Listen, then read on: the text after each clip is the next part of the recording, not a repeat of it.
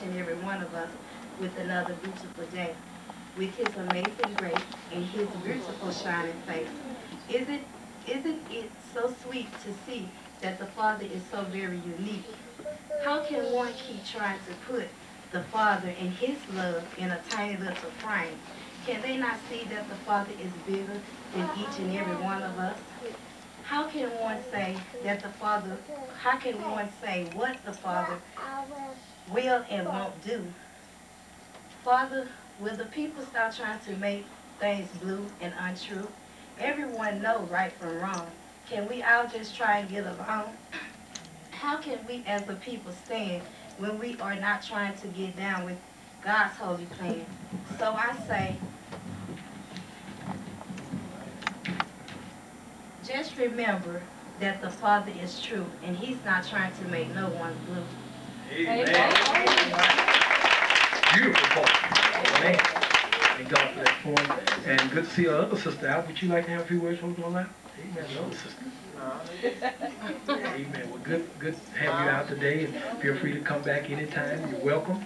Amen. And good, always good to see Sister Brenda out all the time. Amen. Brother, you know what to call me now.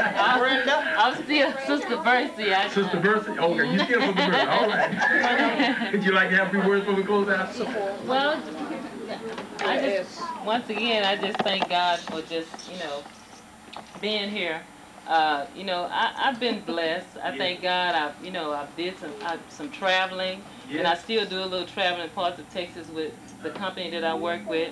And I just got me a job at Foley's. I had to let go of the job at, you know, the driving job because can I was rough. I was losing my religion. I Come on the road, Lord.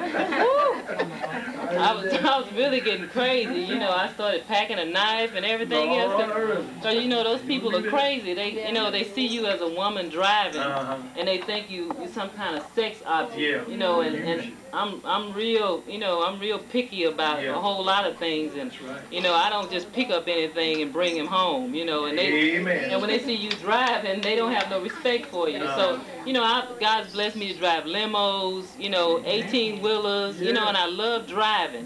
So, and, uh, you know, now I'm, I'm seeking to get me a motorcycle. You know, I'm just at that point in my life. Ain't nothing wrong with Where I'm, at, I'm at that point in my life where I want to be outgoing and Yeah. traveling and moving around. And like Brother